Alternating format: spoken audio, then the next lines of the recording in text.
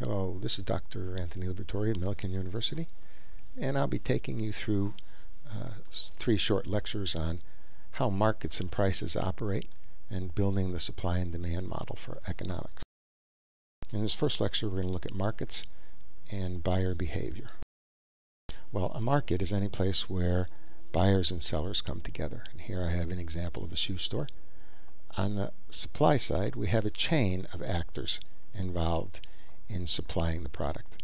Uh, companies that are making the raw materials, the rubber and the canvas and the other components of the shoes, the companies that are assembling those or putting those together, uh, the wholesalers, the retailers. So there's a long chain of supply. Uh, but eventually these get into the retailer and buyers or potential buyers can come together with the sellers and make an exchange. So markets are where exchange takes place. And any place where there's exchange, we have a market. And we can analyze the functioning of these markets and the forces within them. So let's take a first kind of generalized view market behavior. First of all, if this is a shoe store, you can think of yourself maybe as the owner. Uh, and you're selling shoes every week and uh, new supplies are coming in. Well, in this first situation, I'm depicting that there are 500 pairs flowing in, but 1,000 pairs flowing out. Well, obviously you would like this as, as the store owner because uh, it's a chance to make more money, but your inventories are dwindling and you have to bring this back into balance. You don't want an empty store. Uh, so there are several things you can do. Uh, you may be able to order more shoes, but that may take time or you can raise prices, which would discourage your consumers from buying as many pairs.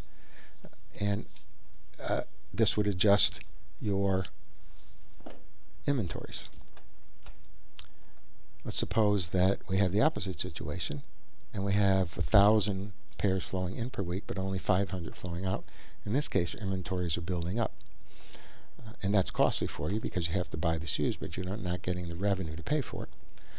So this would encourage you as a store owner to either cut your orders or raise your prices. In other words, the flows into and out of the market are going to affect inventory and are going to affect business decisions. If the markets are free to adjust, decisions will continually adjust, prices will adjust, and eventually the market will bring into balance the flows in and out of the market. In other words, here I have 750 pairs per week flowing in and 750 pairs per week flowing out.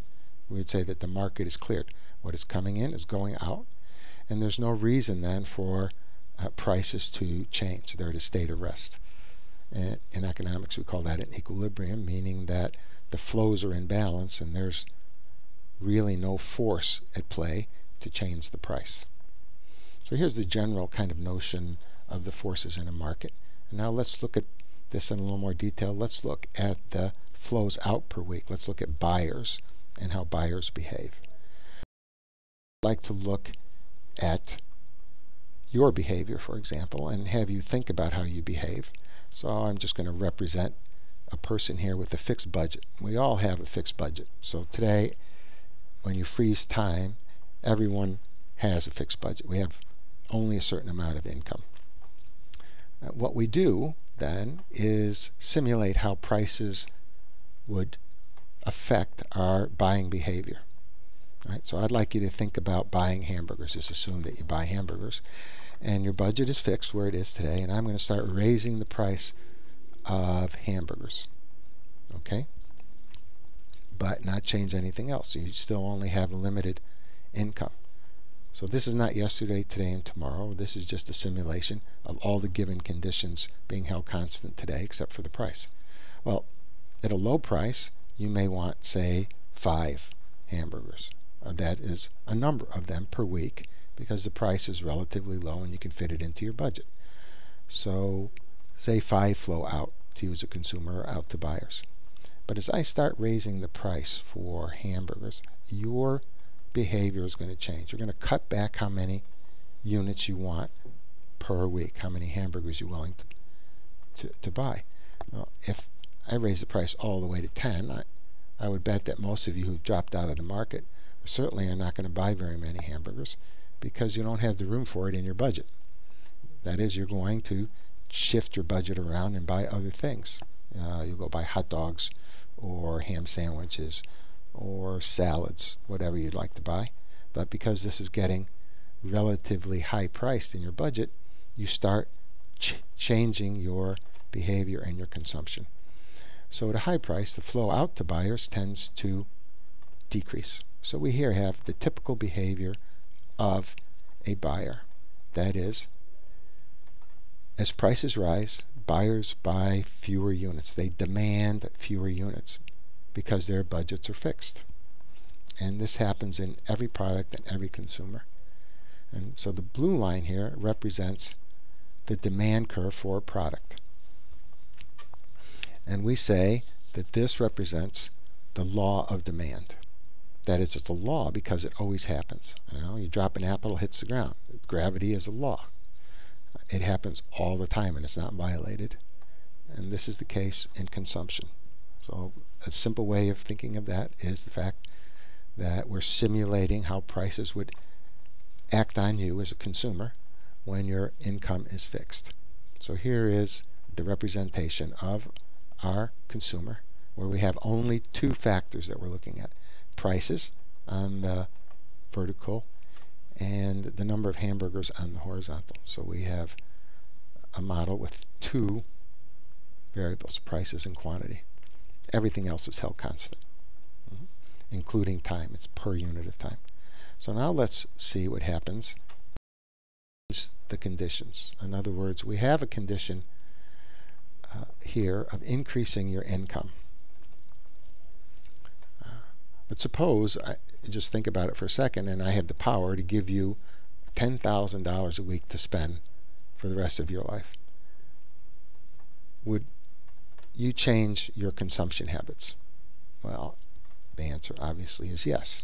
And you tend to buy more of lots of things when your income goes up. But as I change your income and increase it, you, the old you no, really no longer exists. Their new conditions make a new buyer, uh, and we can depict that new buyer in our model. So let's look at depicting that new buyer. So in this case, the old you is gone. A new you is here with a higher budget. Okay, so I just played with the idea so that we can really focus in on the fact that the model allows us to categorize and analyze almost any factor that would influence a buyer. Right? Well, in this case, I've increased income. I've basically redesigned the buyer by giving them more purchasing power. And now I want to see how they're going to behave.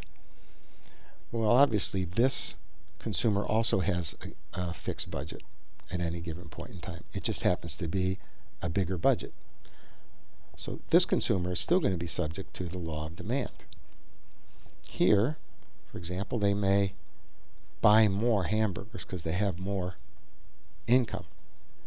But if I keep raising the price, you eventually will begin to reduce your purchases of hamburgers. So in this case, you can see that the consumer is wanting more at every given price, but it's still subject to the law of demand. So the original buyer, D1, demand 1, really no longer exists. That person has been uh, changed permanently because I've given you $10,000 a week to spend. Nice. Uh, and we can replace that picture here with the picture of the new buyer at D2, which is out to the right in our diagram. That is, more units are wanted at every given price. So here we have a total shift in demand conditions. We still have a demand curve, but a change in the fundamental demand conditions. These conditions of more income we're representing by more quantity, that is, the demand curve is moving to the right, more for more demand. So now we're able to categorize not only the two variables in the model, price and quantity, but any other influence as a shift or a change in the buyers and a shift in the demand curve. So let's summarize that behavior. Here I have a simple graph. I have price on the vertical and quantity on the horizontal. And I don't have it numbered. I just want to explain the, the chart or the map. So uh, prices start at 0 and they get higher. So P2 is higher than P1. Over here on the bottom, uh, I've got Q1 and Q2, but it's going from 0 to many. So Q2 is less than Q1. So as we move to the right on the horizontal, that's more. More quantity. Right. So this variable we're going to display is price mm-hmm, in dollar terms on the vertical, and we're going to display the quantity, the number of units per time, or what we call quantity in economics, uh, as the flow into and out of markets. Right? So horizontal axis is the quantity, the flow into and out of markets. The vertical axis is the dollar price. Right, now we can display any buyer or set of buyers subject to their fixed income ceteris paribus assumption and represent that as a upward sloping demand curve. Mm -hmm. The other factors that would influence the consumer are hidden, and I have them here at the, the top of the slide. Uh, things such as income, as we just played with, your preferences, your likes or dislikes, the price of other goods that you might buy, uh, uh, and other factors that you can think of and, and just reason through and see how to change the map of consumer behavior. All right. So this is the typical situation. At a price of P2, the demand curve gives us a map. So I go over from P2 and down to Q2. So at a, a high price, there's a low flow out of the market to you to the buyers. The buyers want uh, a quantity designated as Q sub 2. So low flow out of the market. However, if the price is lower, or the quantity is higher, so I started with Q1, because we can map either from Q to P or P to Q. Right? So just so we can see that the line is simply the, the map for us, we could read that. So at a low price at P1, we would have a larger flow out in the markets to buyers. So the, the price is affecting behavior. Again, as the uh, price rises for the good, the quantity, the number of hamburgers or the number of pairs of shoes or anything else that you want in your fixed budget declines. And in economics, we say that this is a decrease in the quantity demanded by buyers. It's the Q. It's a decrease in the flow demanded by buyers. And so it's a little shorthand here. Uh, the language we use is that as prices rise, the quantity demanded falls or that there's a decrease in quantity demanded. Now what this is depicting is that as prices rise, you're moving along the demand curve. That is your behavior over your budget. As the price rises, you're reallocating or remixing your budget and the spending within it. Uh, and you're going to buy less of any given product as the price goes up uh, in order to get the most out of your given income. So now we can see that we have a map. The map of demand depicts a consumer subject to the law of demand. That is, as prices rise, the quantity demanded moves to the left. That's less quantity. But let's change the circumstances on a customer as we did with hamburgers. Uh, let's add income to this consumer. So we have an initial consumer we have the display variable on the vertical, which is price, and the display variable on the horizontal, which is quantity, or number of units per time. It's the flow into and out of the market. So here it would be the flow out to consumers. And we're going to denote this consumer with D1, the demand 1. But again, suppose I could give you more income.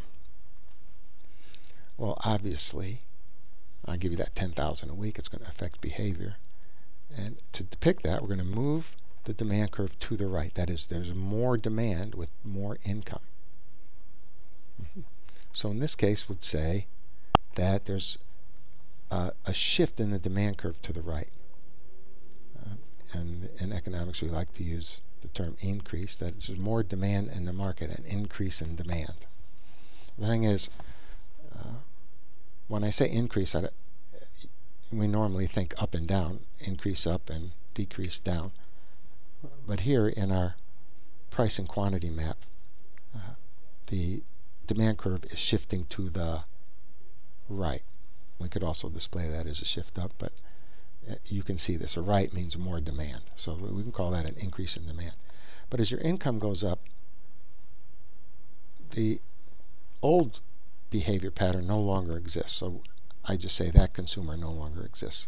So in any given diagram, we really only have uh, one curve, but we leave the blue curve on most of the time uh, because we're looking at the beginning situation and the ending situation, and you have to get used to that. But essentially now there's only one consumer or one set of consumers here in this particular market. Okay? Well, suppose I took income away from you. You had less income. Well, you just don't have the income to spend, so you, you cut back on things.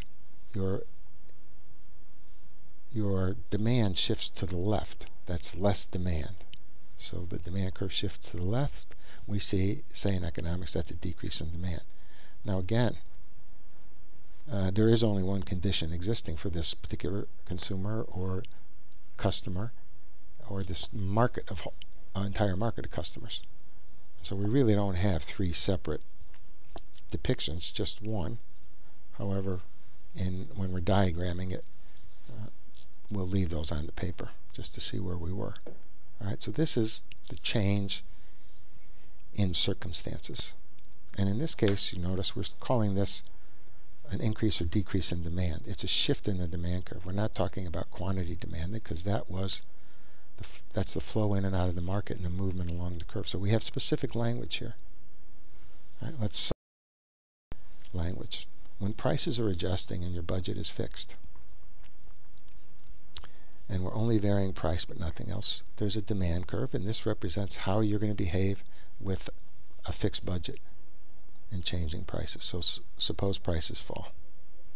Well, as things get less expensive for you in your budget, you tend to want more of them. That is, the quantity demanded. The quantity, remember, is the flow. The flow demanded at that particular length of time will grow. And this is the law of demand. Prices fall, quantity demanded expands. Mm -hmm price and quantity move in opposite directions. Down price, increase in quantity. Got it? And so the demand curve here represents consumer ceteris paribus, subject to changing prices with a fixed budget. Great. But we can look at any multitude of influences on the buyer and also depict that in the same diagram. And so af after we understand here that the prices are affecting the flows in and out of the market, let's look at some changes in buyers' circumstances. Okay. Again, we have hidden factors. And any of these things could change. Uh, but in, if I increase income, or let's say you have uh, increasing desire for, for a particular good, uh, and your preferences are changing, like you really want it, that would be displayed in our two variable model as a movement in the space. The behavior pattern shifts to the right. That's a change in demand, an increase in quantity, um, excuse me, an increase in demand. The demand curve shifts to the right. That's more demand or an increase in demand. This replaces the existing relationship of the consumer because now you have different characteristics. Again, we can go the other way and say you have less income, so your behavior pattern is going to be to the left, less quantity with that less income, so the demand curve shifts to the left. This we would say uh, is a decrease in demand. Well, great. Now we have the basically the two sets of forces, prices and all the hidden factors, and we can describe buyer behavior in any of these circumstances. And this should be fairly straightforward for you in your head. I think you can do this uh, pretty quickly and maintain this conception as we go through to see it in your head. Uh, so let's let's play with it a little bit. Here I've got the demand for Coca-Cola. Well, I don't know exactly the shape of the demand curve. You know, it could be curvy or it could be really steep or it could be flat. And there's lots of behavior, but really now we're just interested in the mechanics of it. Uh, so we have a downward sloping demand curve, right? And we have the consumer here with the fixed budget. As prices rise for Coca-Cola, consumers will want less of it. And this is the law of demand. It works that way because your income is limited, and as you're raising the price, you're readjusting or reallocating the mix of things you're consuming in your budget. And as the prices rise, the flow out of the market to consumers begins to shrink. The language we have here is that as the price rises, the quantity demanded declines. Well, that's the typical behavior for Coca-Cola, and even though you may have a habit forming like for Coca-Cola, I know eventually this relationship will hold true. And I can do that with you right now as we did with hamburgers. Let's suppose everything is frozen, including your budget, and I have the power to raise the price of Coca-Cola. $1 a bottle, $2 a bottle, $3, $4, $5, $6, $7, $8, $9, $10. Well, I know if you're playing along with me, you're dropping out of the market. This is you you don't have enough income to support that kind of consumption, so your quantity demanded declines as prices rise. But as you're, as you're cutting back on Coke and you're reallocating or remixing your budget, what are you doing? Are you still drinking cola? The answer is yes. And so you're going to look for substitutes, something else. So because the price Coke is going up, and it could be going up rapidly and at a phenomenal high price, you're going to look for alternatives, such as Pepsi. So let's assume we have a Pepsi customer here, and that customer has given circumstances, ceteris paribus. Uh, so how does the price of Coke affect the buyer side in the market for Pepsi? Well, we haven't said anything about the change in the price of Pepsi, correct? So that's not a movement or a reshuffling of the budget. Because hmm? price and quantity would be the two variables that lay out our map for us, and a change in price would be a movement along this curve. But that's not what happened. The price of Coke went up and you wanted less Coke. But in the Pepsi market now, this Pepsi and Coke are substitutes. They're related to one another. And so the higher price of Coke is going to change a fundamental condition or a hidden factor in the Pepsi model and push you to want more Pepsi Cola. Yeah, it may not be a lot because you're just so loyal to Coke. But here we can depict, depict that influence be, between these two goods that is happening through price on the buyer by shifting the buyer to the right. The buyer wants more Pepsi, so there's an increase in the demand for Pepsi. And of course, the original consumer doesn't exist anymore, just the, the, the new consumer wanting more Pepsi as they switch from Coca-Cola to Pepsi. Again, that's a remixing in the budget. We described that as less quantity demanded as the price of Coca-Cola goes up, but an increase in the demand for Pepsi. So get it? Quantity refers to the movement along the curve, that is, the price and quantity pairs, where a shift in the demand curve is called a decrease or an increase in the demand curve uh, rather than the change in the quantities. So it's a fundamental shift in the market.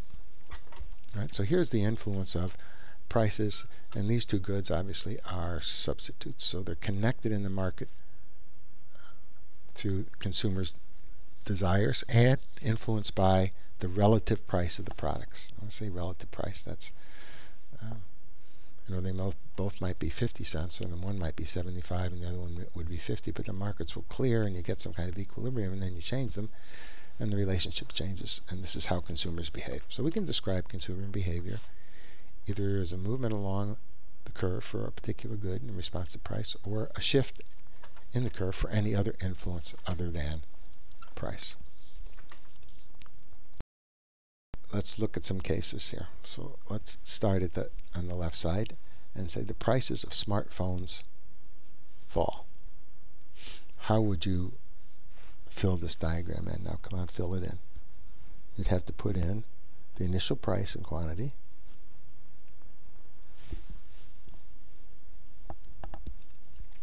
And see the reaction with quantity. So here I've got a decline in price.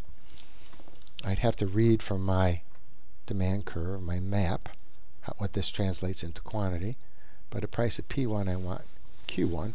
When the price falls to P2, I want more quantity, Q sub 2.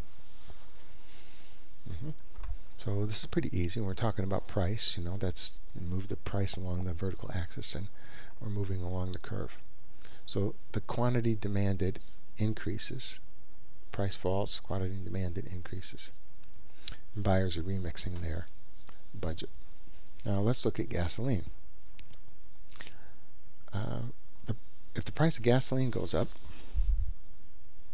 you're going to change behavior. I know some students will say, no, well, I have to have it, so I'm not going to change my behavior. But you are. Uh, just accept it.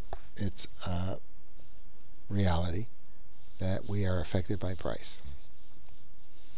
So in this case, I made it a little steeper to suggest that as the prices increase, there's uh, lesser decline in the quantity um, because it is hard to, to substitute or switch in the short run. But as the price of gasoline rises, obviously, uh, you want less of it.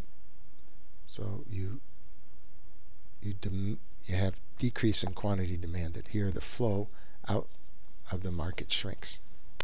Right? So gasoline and smartphones.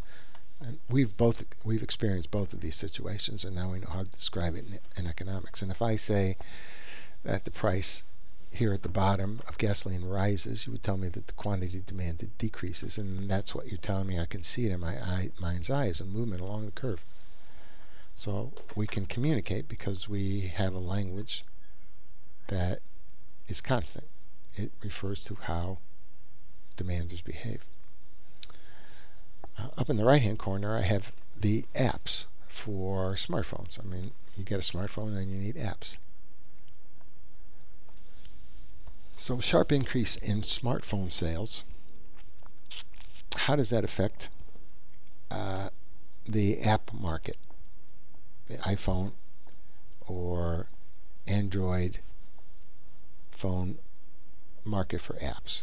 Well, the price of phones declines. Uh, and consumers want more smartphone units, Q1 to Q2. Well, you're going to need more apps. Yeah? So here we would say that the new consumer can be depicted in moving to the right in the, the diagram showing an increase in the demand for apps. Okay, we didn't talk anything about the price of those things, but we know that demand for apps is increasing. Down on the bottom, I have uh, the beef market, and there's a mad cow disease. Well, that got, will affect both sides of the market because the mad cow disease is hurting the supply of beef, but it's also affecting the demand. For this case, I like to look at the demand to begin with.